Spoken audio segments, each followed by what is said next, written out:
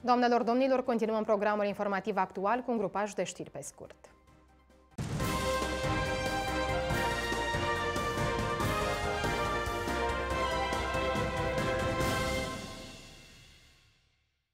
Un șofer și pasagerul său au decedat după ce automobilul cu care se deplasau a derapat de pe traseu și s-a izbit violent de un copac. Tragedia s-a produs aseară în localitatea Hișdieni, raionul Glodeni. Șoferul automobilului de model Peugeot, din cauza vitezei neadaptate pe un drum acoperit cu pietriș, a pierdut controlul volanului. Mașina s-a răsturnat și s-a izbit de un copac de pe marginea drumului. În urma impactului, ambele persoane au decedat pe loc. Oamenii legii cercetează cazul pentru a stabili circumstanțele în care s-a produs tragedia.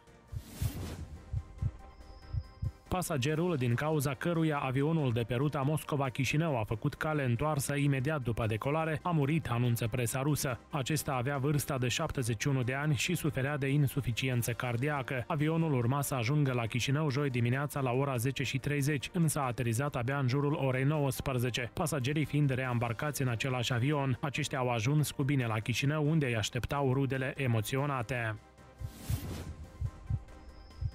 Armele de tranquilizare vor putea fi cumpărate fără acte emise de la psiholog și fără cazier juridic. Totuși, va fi nevoie de un aviz de la psihiatru și de la medicul narcolog. Modificarea face parte dintr-un proiect de lege aprobat în prima lectură de către deputați. Potrivit legii, aceste arme trebuie să fie păstrate acasă într-un safe metalic fixat pe podea sau pe perete. Permisele de port armă vor fi eliberate fără termen de valabilitate, însă odată la 5 ani se va efectua vizarea lor.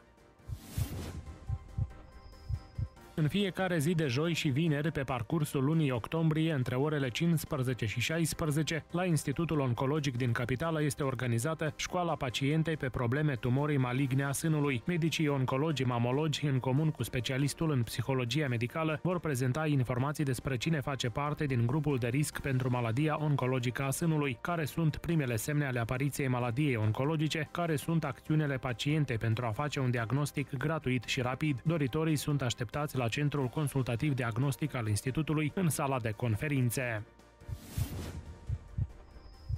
În troleibuzele din Chișinău va fi introdus sistemul de taxare electronică. Pasagerii vor avea un card inteligent și odată ce vor plăti pentru călătorie, timp de o oră, vor putea călători în mai multe unități de transport de același tip, fără să fie taxați suplimentar. Dacă vor schimba troleibuzul pe autobuz, vor mai plăti numai un leu, ajungând la costul biletului de 3 lei. Cardurile vor putea fi reîncărcate prin intermediul diverselor dispozitive la terminale electronice sau locuri special amenajate pentru aceasta.